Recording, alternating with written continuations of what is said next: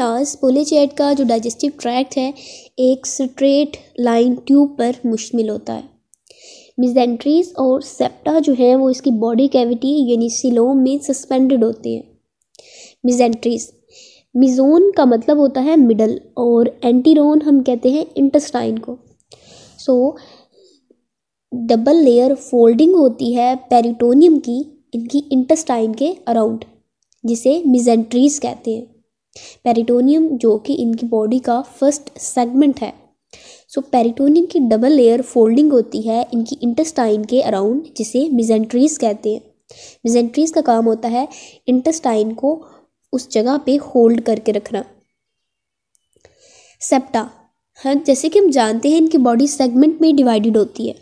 सो so, एक segment दूसरे segment से सेपरेट होता है with the help of septa so mesenteries और सेप्टा जो है, इसकी बॉडी कैविटी में सस्पेंडेड होते हैं, फैले हुए होते हैं। डाइजेस्टिव ट्रैक का जो इंटीरियर रीजन है, जिसे फेरिंग्स कहते हैं, जो फ़र्स्ट रीजन है डाइजेस्टिव ट्रैक का, जिसे फेरिंग्स कहते हैं, ये मोडिफाइड होता है एक स्ट्रक्चर में, जिसे प्रोबोसिस कहा जाता है।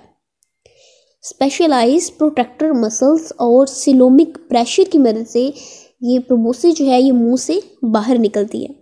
प्रोटेक्टर मसल्स प्रोटेक्टर मसल्स जो हैं, ये एनिमल्स के अंदर ऐसे मसल्स होते हैं, जो बॉडी के किसी पार्ट को एक्सटेंड करने के लिए यूज़ किए जाते हैं। और सिलोमिक प्रेशर जो है, जैसे हम जानते हैं इसकी बॉडी कैविटी यानी सिलोम में फ्लोट प्रेजेंट होता है, जो कि सिलोमिक प्रेशर को, जो एक प्रेशर को एग्जर्ट जनरेट करता है, जिसे सिलोमिक प्रेशर कहते हैं।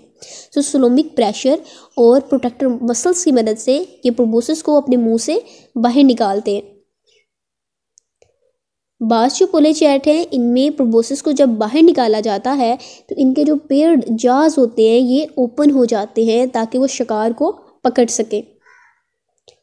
जो प्रीडेटरी पोलेचैट हैं, वो अपनी बरोश यानी ट्यूब से बाहर नहीं निकलते।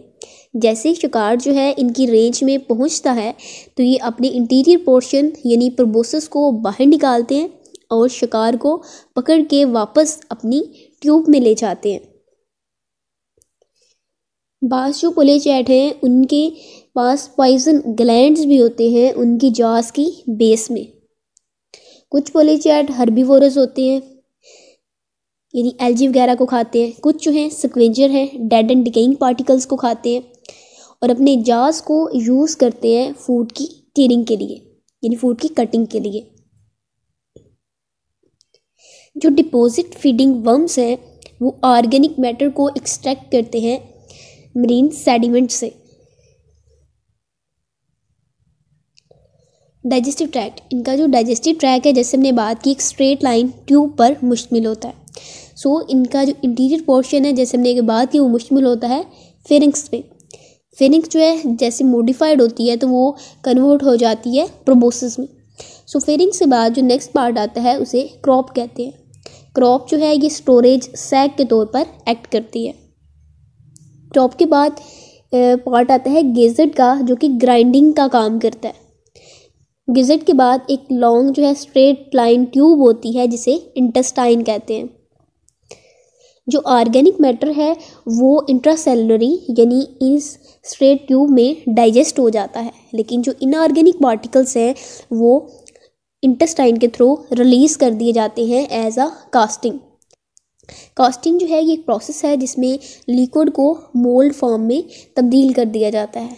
मोल्ड जो है, ये एक हालो शेप है जो बाद में सॉलिड फॉर्म में कन्वर्ट हो जाती है।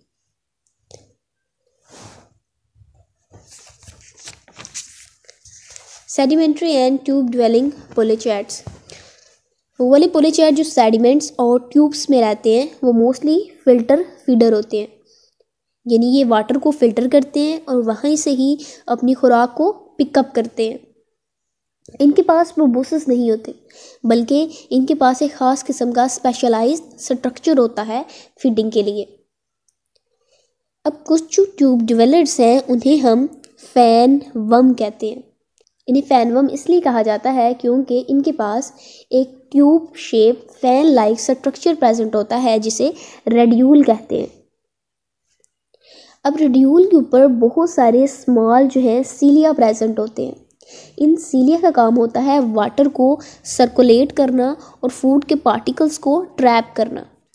सो so, फ़ूड के पार्टिकल जब ट्रैप कर लिए जाते हैं तो ये फ़ूड के पार्टिकल्स ग्रूव की तरफ़ मूव करते हैं। ट्रांसपोर्ट के दौरान जो स्मॉल पार्टिकल्स होते हैं, उनको माउथ की तरफ़ धकेल दिया जाता है प्रोजेक्ट कर दिया जाता है।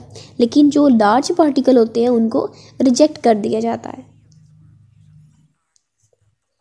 अब दूसरी किस्म के जो फ़िल्टर फीडर हैं, उन्हें चैटो चैटोपेट्रस कहते हैं। चैटो चैटोपेट्रस जो हैं, ये एक यू शेप ट्यूब के अंदर रहते हैं। ये सक्रीट करते हैं म्यूकस बैग को, जिसमें फ़ूड के पार्टिकल्स को कलेक्ट किया जाता है। इनकी बॉडी का जो सेगमेंट है फोर्टीन फिफ्टीन और सिक्सटीन यहाँ पे जो पैरापोडा प्रेजेंट होते हैं, वो मॉडिफाइड होते हैं फैंस में। सो ये फ़ैन जो है, ये क्रिएट करते हैं। जब ये म्यूकस बैग फिल हो जाता है तो ये इसको इंजेस्ट कर लेते हैं। Elimination of a digestive waste. जो पुलिज या ट्यूब्स के अंदर रहते हैं इनके लिए डाइजेस्टिव वेस्ट को बाहर निकालना एक प्रॉब्लम है। सो so, वो वाले पोलेचैट जो ऐसी ट्यूब्स के अंदर रहते हैं जो दोनों साइड से ओपन है। सो so, इनके लिए वेस्ट को निकालना आसान होता है क्योंकि वाट सर्कुलेटिंग वाटर के साथ वेस्ट को भी ट्यूब से बाहर निकाल दिया जाता है। लेकिन वो वाले पोलेचैट जो ऐसी ट्यूब्स के अंदर रहते हैं, जो सिर्फ़ एक साइड से ओपन हो। तो ऐसे पोलेचैट क्या करते हैं? ये अपनी बॉडी को ट्यूब के अंदर टर्न करते हैं, या अपने सिलरी ट्रैक को यूज़ करते हैं ट्यूब की ओपनिंग से फीसिस को बाहर निकालने के लिए। अब वो वाले पोलेचैट जो ऐसे सबस्ट्रेट में रहते हैं जो ऑर्गेनिक मैटर से रिच है, जिसमें बहुत ज़्यादा मकदार में ऑर्गेनिक मैटर जो है वो प्रेजेंट है।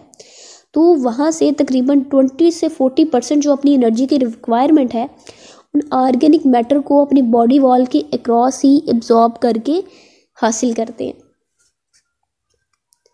गैसेस एक्सचेंज एंड सर्कुलेशन जैसे कि न्यूटन को अपनी बॉडी वॉल के क्रॉस अब्जॉर्ब कर लेते हैं। इसी तरह डिफ्यूजन के प्रोसेस से ये गैसेस को भी अपनी बॉडी वॉल से ही एब्जॉर्ब करते हैं।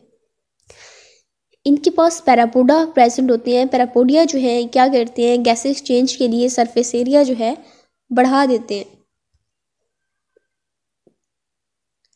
बास चैट में पैरापोडिया के पैरापोडा में गिल्स प्रेजेंट होते हैं, जिन्हें हम पैरापोडियल गिल्स कहते हैं, सो ये गैस एक्सचेंज के लिए सरफेस एरिया को फर्दर बढ़ा देते हैं। इनका जो सर्कुलेटरी सिस्टम होता है, वो क्लोज्ड होता है, यानी ब्लड जो है आर्टरीज वेन्स में फ्लो करता है। जैसे हम लोगों में ऑक्सीजन को पिक करने के लिए हमारे ब्लड में रिस्पायरेटरी पिगमेंट्स होता है, जिसे हीमोग्लोबिन कहते हैं। सेम इसी तरह, इनके पास भी रिस्पायरेटरी पिगमेंट होता है, जो ऑक्सीजन को पिक करता है। लेकिन इनका जो इनका जो रिस्पायरेटरी पिगमेंट है, वो इनके प्लाज्मा के अंदर डिज़ॉल्व होता है रेड ब्लड सेल के अंदर कंटेंट नहीं होता।